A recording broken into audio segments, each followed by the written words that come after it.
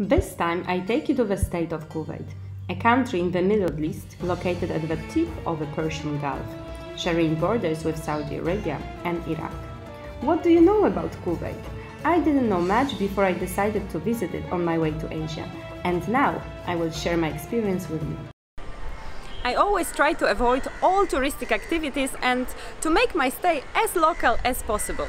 The easiest and most pleasurable way to do it is to use couchsurfing.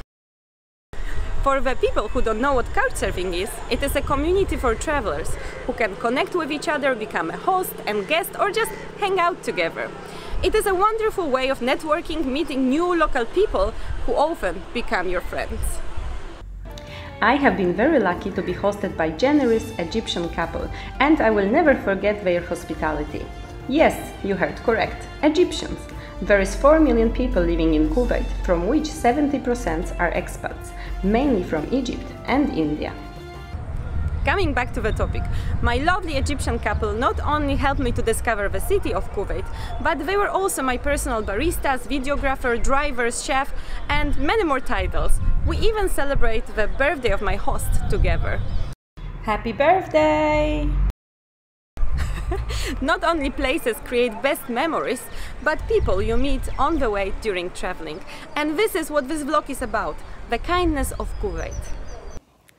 Right now I'm in a, um, in Egyptian family who is hosting me in a couchsurfing and they are so wonderful and they prepared traditional Egyptian dinner which I really wanted to show you guys. So uh, here it comes. Hmm, what do we have over here? On the right, rice with small noodles. Next to it, bowl with green vegetables, molokhia. Then we have steak beef barbecue sauce. Green salad. And chili pepper pickles.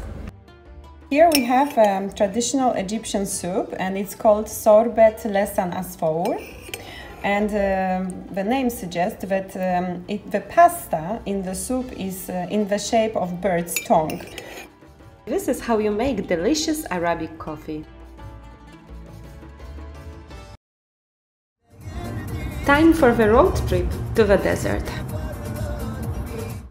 Speaking of desert, in a chase of a local experience, I found myself in a private desert camp.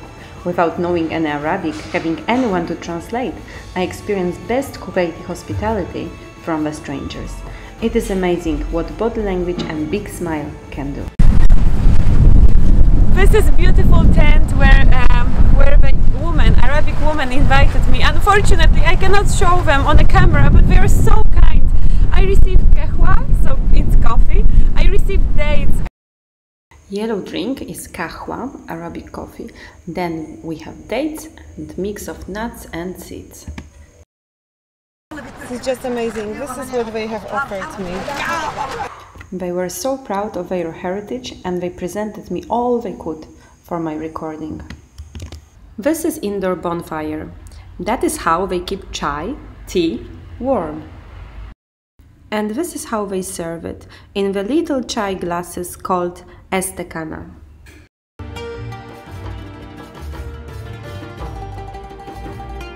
This is perfume and it smells just wonderful. Behind me you can see what tents are made of. It is traditional Kuwaiti weaving called sadu.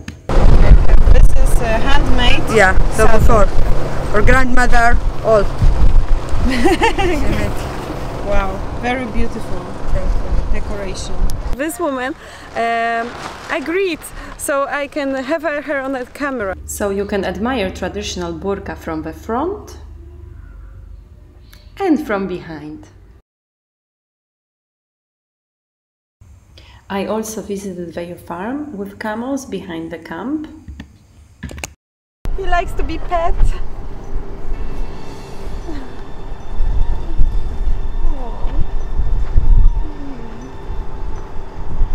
What's his name?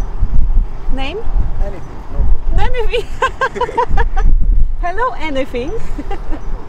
they welcome me so nicely. I'm so grateful for this experience. Thank you, Kuwait. okay, okay, okay.